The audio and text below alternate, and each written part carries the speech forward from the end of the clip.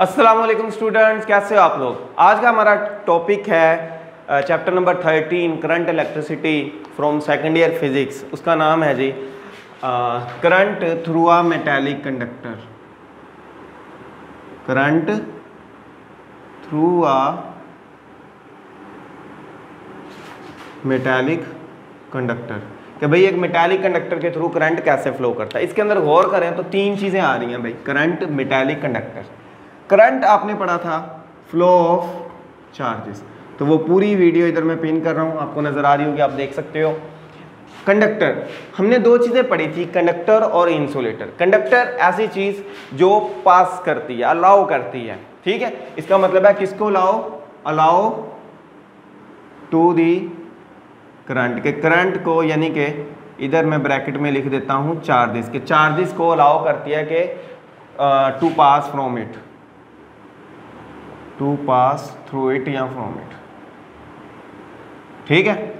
और metallic metallic क्या है कि हमारे पास जो कंडक्टर होते हैं, वो काफ़ी चीज़ें होती हैं, लेकिन इनमें सबसे अच्छी जो चीज़ है ना, वो मेटल ठीक है? मेटल्स होती हैं। और मेटल्स इसलिए होती हैं क्योंकि उनको समझना या अंडरस्टैंड करना बड़ा आसान है। उनके अंदर एक चीज़ होती है जिसे बोलते हैं हम फ्री इलेक्ट्रॉन्स तो यानी कि इसको हम इधर नाम देते हैं मेटल्स ठीक है? यानी कि मेटेलिक कंडक्टर मीन के ऐसे कंडक्टर जो मेटल के हैं। ठीक हो गया? अब हम इसको आगे कंटिन्यू करते हैं। हमारे पास जो मेटल्स होती हैं ना, उनके अंदर जो आखिरी शेल के इलेक्ट्रॉन्स होते हैं, यानी कि जिन्हें हम बोलते हैं वैलेंस इलेक्ट्रॉन्स वो बाउंड नहीं होते। तो बाउंड नहीं होते तो फिर क्या होते हैं? फिर फ्री होते हैं। जैसे कि इधर मैं एक बनाता हूँ मेटल और आपको अभी डिटेल में समझाता हूँ। ये फ़र्ज़ कर लो, कोई भी मेटल है, और ये उसका कोई भी मैंने एक टुकड़ा ले लिया ठीक हो गया भाई? इसके अंदर होंगे एटम्स ठीक है? काफ़ी एटम्स होंगे और काफ़ी इसके अंदर एटम्स होंगे तो ज़ाहिर से बात इलेक्ट्रॉन्स होंगे। लेकिन ये जो मेटल है, इसके एटम कुछ यूँ होते हैं। यानी कि बड़े एटम्स होते हैं। और ये मेटल किसी ना किसी टेम्परेचर में जैसे इस वक्त इस रूम में कोई टेम्परेचर है तो इस टेम्परेचर के ऊपर ये पड़ी है। इस टेम्परेचर का मतलब है कि हम इसे क्या प्रोवाइड कर रहे हैं कंटिन्यूसली थर्मल एनर्जी, वो हम नहीं प्रोवाइड कर रहे, वो एक्चुअली आपकी एटमॉस्फेयर प्रोवाइड कर रही है। कि इस एटमॉस्फेयर में कुछ ना कुछ टेम्परेचर है, जिसके बाद इसको कुछ ना कुछ आप थर्मल एनर्जी प्रोवाइड कर रहे हो। तो इसके, इस एटम को मिल रही है तो सारे एटम्स को मिल रही है। अब इसके आखिरी शल के अंदर जो इलेक्ट्रॉन्स होते हैं, हम उन्हें बोलते हैं कौन से इलेक्ट्रॉन्स वैलेंस इलेक्ट्रॉन क्योंकि आखिरी शल का नाम है वैलेंस शेल और इसके अंदर जो इलेक्ट्रॉन्स हैं, हम उन्हें बोलते हैं वैलेंस इलेक्ट्रॉन अभी भाई, ये जो इलेक्ट्रॉन है, ये ग्रीन वाला, ये है बाउंड ठीक है? बाउंडेड फॉर्म में पड़ा हुआ है. अब, क्या होता है कि ये इस थर्मल एनर्जी को लेता है और थर्मल एनर्जी को लेने के बाद ये एक्साइट हो जाता है. और एक्साइट होने के बाद ये अपने एटम को छोड़ देता है. इसका मतलब है कि जब कोई इलेक्ट्रॉन अपने एटम को छोड़ता है तो एटम आयोनाइज हो जाता है. यानी कि ये थर्मल एनर्जी इतनी होती है कि वो इसके एटम को क्या कर देती है? आयोनाइज कर देती है। और ये एटम इसको छोड़कर इधर से रफू चक्कर हो जाता है। और भाई रफू चक्कर होने के बाद बाहर चला जाता है और बाहर जाके इधर बैठ जाता है। अलग ही इसमें चला जाता है। इस एटम से दूर चला जाता है। और फिर चूँकि ये अब बाउंड नहीं है, ये आज़ाद हो गया तो हम इसको नाम देते हैं फ्री इलेक्ट्रॉन तो इसका मतलब है ये हो गया अब फ्री इसी तरह ये एटम के साथ ये सारी कहानी हुई। इसका मतलब है कि इस मेटल के टुकड़े के साथ, पूरे के साथ ये कहानी हो जाती है। ये पूरे के साथ ये होता है कि इसके सारे के सारे एटम्स के इलेक्ट्रॉन्स जो हैं, सारे नहीं मतलब कुछ इलेक्ट्रॉन्स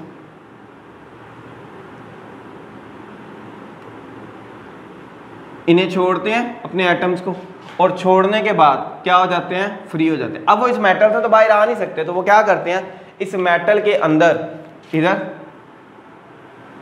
घूमना शुरू कर देते हैं। यानी कि जो ब्लैक ब्लैक में लाइनें बना रहा हूँ, इसका मतलब है ये इलेक्ट्रॉन्स हैं और ये घूम रहे हैं। आवारागर्दी करना शुरू कर देते हैं, चूँकि ये फ्री होते हैं। और कोई भी इलेक्ट्रॉन किसी पार्टिकुलर एटम का मलकियत नहीं होती मतलब उसके साथ नहीं जुड़ा होता। इसका ताल्लुक पता नहीं कौन से के साथ। इसलिए हम ये नहीं कहेंगे कि ये किसी भी एटम के साथ लिंकेज है इसका ताल्लुक है। ये आज़ाद है फ्री है। अब जब ये भाई मेरे, ये फ्री है तो ये हमारे पास इस एटम का हिस्सा नहीं होता। बट ये अब इस पूरे स्ट्रक्चर को छोड़ भी नहीं सकता। इस पूरे स्ट्रक्चर को हम नाम देते होते हैं इधर। इस पूरे स्ट्रक्चर को हम बोलते होते हैं लैटिस अब वो इस पूरे स्ट्रक्चर से निकल नहीं सकता। इसका मतलब है कि वो जो फ्री इलेक्ट्रॉन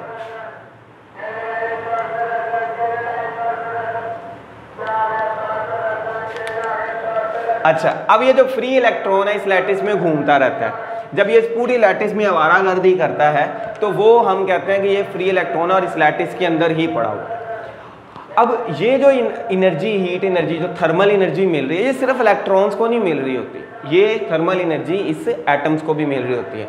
तो इन एटम्स की भी एनर्जी बढ़ जाती है। बट ये एटम बाउंडेड फॉर्म में होते हैं तो ये आज़ाद होने की कोशिश करते हैं। बट ये अपनी मेन पोजिशन पर आहिस्ता आहिस्ता क्या कर रहे होते हैं ऐसे ऐसे हल्का हल्का वाइब्रेट कर रहे होते हैं। वाइब्रेटरी मोशन कर रहे होते हैं भाई। अब सीन कुछ ये बनता है कि ये जो फ्री इलेक्ट्रॉन है, ये मूव कर रहा है। तो अभी आपको पता होगा कि एक मूविंग बॉडी या मूविंग ऑब्जेक्ट है कोई भी चीज़ मूविंग बॉडी है, कौन सी एनर्जी होती है भाई?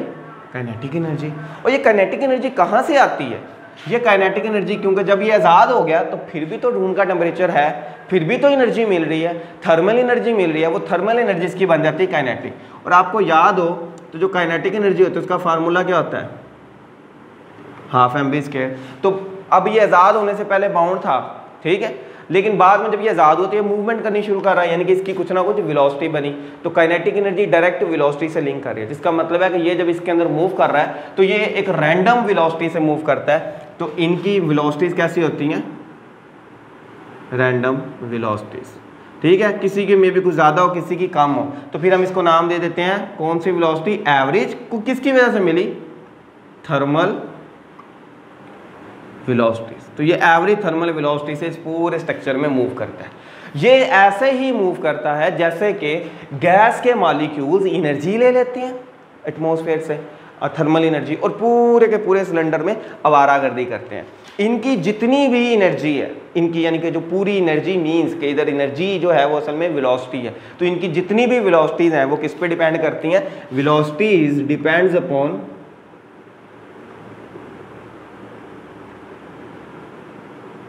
upon temperature तो इनकी सारी की सारी वेलोसिटीज किस पे डिपेंड कर रही होती हैं? टेम्परेचर पर ठीक हो गया? ये था आपका पहला पैराग्राफ। अब नेक्स्ट पैराग्राफ की तरफ़ चलते हैं। अब हम क्या करते हैं कि हम इसी मेटालिक कंडक्टर को देखते अब हम क्या करते हैं कि जो आपके पास मेटालिक कंडक्टर है, इसको बड़े ध्यान से ऑब्ज़र्व करते हैं और इसके इलेक्ट्रॉन्स को ऑब्ज़र्व करते हैं और देखते हैं कि भाई ये कर क्या रहे हैं। तो ये आपके पास मेरे भाई एटम है।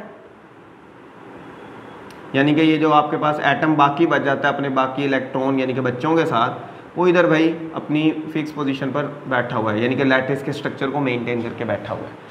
इसके अंदर आपको ये भी पता है कि जो इलेक्ट्रॉन्स हैं, वो रैंडम मोशन कर रहे हैं, जिनका नाम हमने रखा अभी फ्री इलेक्ट्रॉन्स ठीक है, आवारागर्दी वाले इलेक्ट्रॉन्स अब होगा क्या कि अगर हम इसका कोई भी क्रॉस सेक्शनल एरिया ले लेते हैं, यानी कि कोई भी दरमियान से इलाका देख लेते हैं, सिर्फ़, और ये इलाका सिर्फ़ इसलिए लिया कि अपनी निशानी के लिए कि भाई मैं यहाँ से जा रहा हूँ, या इधर से जा रहा हूँ इधर से, यानी कि रेफरेंस पॉइंट तो अगर हम देखें तो इसके इलाके के क्रॉस सेक्शनल एरिया के इस साइड पर और उस साइड पर जब हमने देखा तो हमें ये नज़र आया कि भाई, दस इलेक्ट्रॉन इधर जा रहे हैं, दस इलेक्ट्रॉन नेट इधर जा रहे हैं। यानी कि जितने लेफ़्ट से राइट जाते हैं, उतने राइट से लेफ़्ट इस साइड पे जाते हैं। जो इन सब की तादाद जो इस साइड वालों की और इस साइड वालों की बराबर है। बट सबकी डायरेक्शन ऑपोजिट है। अब आपको तो ये लगना चाहिए कि भाई, ये जो इलेक्ट्रॉन्स हैं, ये चार्ज है और if charge moves in if charge moves यानी कि फ्लोज इसको मैं लिख लेता हूँ इधर flow then current is produce हमें यही पता है कि flow of charge is is called current तो इसका मतलब यहाँ पर करंट बनना चाहिए, लेकिन बन ही नहीं रहा। क्यों नहीं बन रहा भाई? उसकी वजह यहीं पर ही है। कि हमें लगता था कि अगर ये मेटल का टुकड़ा है, ये पूरा तो इसके अंदर इलेक्ट्रॉन थर्मल एनर्जी की वजह से मूव कर रहे हैं और मूविंग इलेक्ट्रॉन करंट बना रहा है, क्योंकि चार्ज है। तो इसको अगर मैं बल्ब लगाऊँ तो बल्ब चलना चाहिए, लेकिन बल्ब नहीं चलता। उसकी वजह उसकी वजह यहाँ पर है कि इधर और इधर करंट की वैल्यू सेम होती है बट डायरेक्शन ऑपोजिट होती है। तो हम कहते हैं नो नेट करंट फ्लोज के नेट करंट जो फ्लो करता है, वो होता ही नहीं है। यानी कि नेट करंट जो एक डायरेक्शन में फ्लो करता है, वो होता ही नहीं है। टोटल करंट इसके अंदर ज़ीरो होता है। इसलिए हम जब इसी मेटल के कंडक्टर को बल्ब या मोटर शोटर कुछ भी लगाते हैं तो वो नहीं चलती, क्योंकि नेट करंट ज़ीरो होता है। वो कब चलेगी? जब नेट करंट बनेगा। अब वो कब बनेगा कि हम इसको लगाते हैं, कोई ना कोई सोर्स ऑफ़ ईएमएफ यानी कि पोटेंशियल का डिफरेंस अप्लाई करते हैं। तो अब हम ऐसा कनेक्ट करते हैं कि अगर हम इसी कंडक्टर को एक पोटेंशियल का डिफरेंस अप्लाई कर दें तो भाई क्या सीन बनेगा? तो भाई मेरे, ये तो पॉजिटिव है, ये तो भाई अपनी जगह से हिल ही नहीं सकते, बस मीन पोजीशन पर वाइब्रेटरी मोशन कर सकते हैं। ठीक है, काफ़ी ज़्यादा होंगे, बस मैं थोड़े से बना रहा हूँ। तो इधर इलेक्ट्रॉन्स है। अब जब आप इन्हें कनेक्ट करते हो किसी सोर्स ऑफ़ ईएमएफ के साथ सॉरी यानी कि पोटेंशियल ईएमएफ को हम आगे पढ़ेंगे। अभी हम इसे पोटेंशियल डिफरेंस कहते हैं।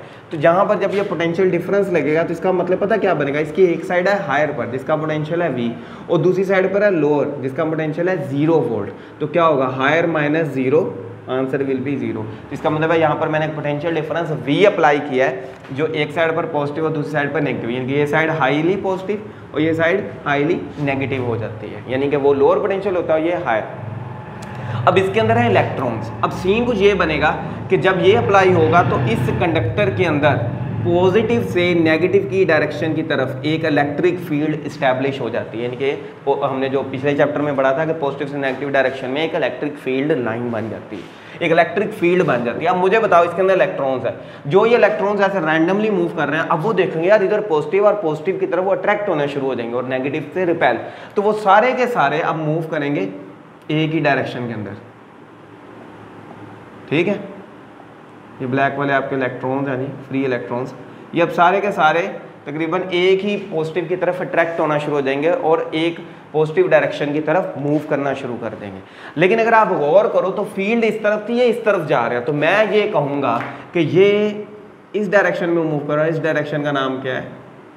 नेगेटिव ऑफ़ ई यानी कि ये नेगेटिव ई की डायरेक्शन में मूवमेंट शुरू कर देंगे। अच्छा अब आप कहोगे के साथ जब ये मूव करेंगे तो पहले इनकी जो भी थी वेलोसिटीज रैंडमली जो भी थी, ये जैसे जैसे इसके करीब आते जाएँगे, इनकी वेलोसिटीज तो बढ़नी चाहिए। यानी कि इनके अंदर क्या बढ़नी चाहिए? एक नेट एक्सलरेशन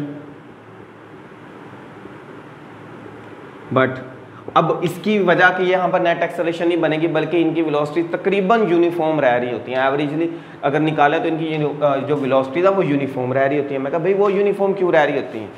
जब ये पोटेंशियल अप्लाई होगा तो इसने एक चीज़ को हायर पर ले जाना, एक लोअर जिसकी वजह से वो चीज़ ऊपर से, जैसे मैं कहूँ कि एक चीज़ यहाँ से जैसे मैं कहता हूँ कि ये दो डब्बे पड़े और इनके अंदर ये पाइप कनेक्ट है। तो आप देखोगे कि इन डब्बों में जो भी पानी हो, वो इधर से इधर इधर से इधर फ्लो नहीं करेगा।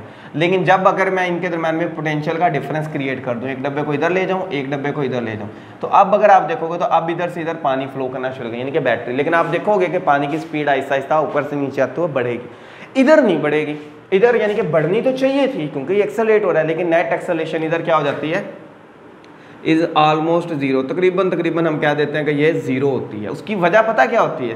कि ये एक यूनिफॉर्म स्पीड से चलते हैं। यूनिफॉर्म स्पीड यानी कि यूनिफॉर्म वेलोसिटी कांस्टेंट वेलोसिटी वो क्यों? क्योंकि जब ये इलेक्ट्रॉन उधर से चलता हुआ आ रहा है तो इसके पास है काइनेटिक एनर्जी ये रास्ते में, अब पहले ये था कि ये इस तरह चल रहा था कि ये एक रोड है, इसके ऊपर ये ट्रैफ़िक वाली गाड़ियाँ हैं। तो आपके पास अपनी मर्ज़ी थी।